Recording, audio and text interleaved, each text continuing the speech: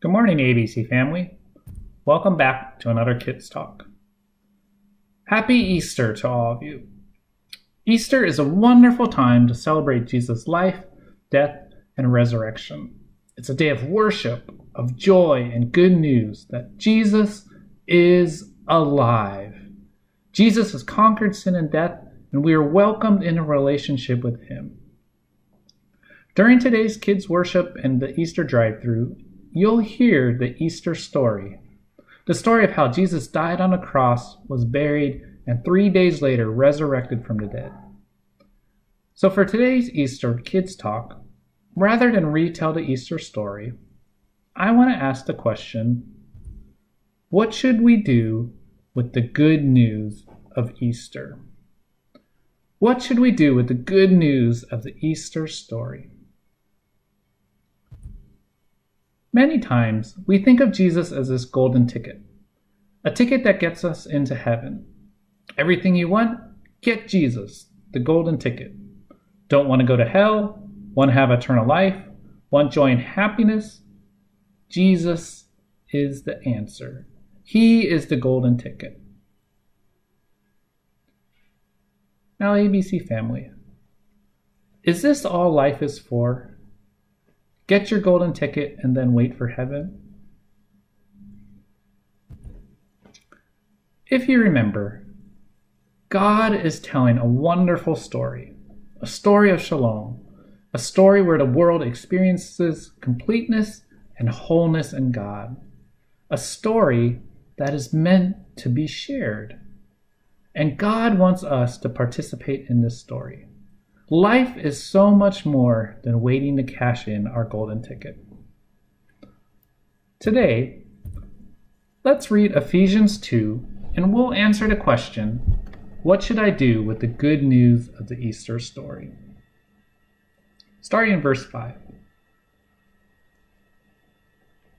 We, speaking of Christians, were spiritually dead because of the things we did wrong against God.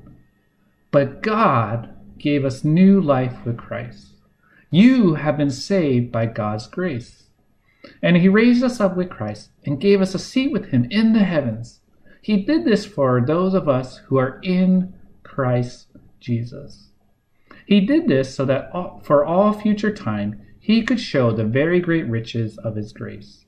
He shows that grace by being kind to us in Christ Jesus. God has made us what we are. In Christ Jesus, God made us new people so that we would do good works. God had planned in advance those good works for us. He had planned for us to live our lives doing them. ABC family, did you notice the three parts of God's story is found in these three verses? In the first half of verse 5, we see the effects of the fall. We are spiritually dead because of our sins. In the second half of verse 5, we see redemption is found in Jesus. And in verse 6 and 7, we see the future hope of restoration. Paul reminds us of God's amazing story. This is the good news of Easter. Now, did you see what we were supposed to do in response to God's story? Verse 10 God made us new people so that we would do good works.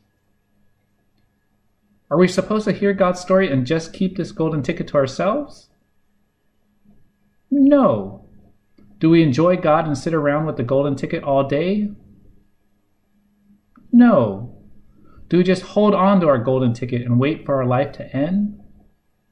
No. What do we do? We do good works. We make disciples by sharing Jesus with others so others can share Jesus.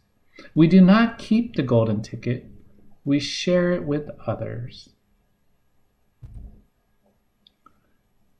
ABC family, even though we are saved and have eternal life when we repent, believe, and follow Jesus, our lives are not done. There's still a lot of work to be done. We have redemption, but we also pursue restoration. With Jesus, we help the world be restored to wholeness. So, what should we do with the good news of Easter?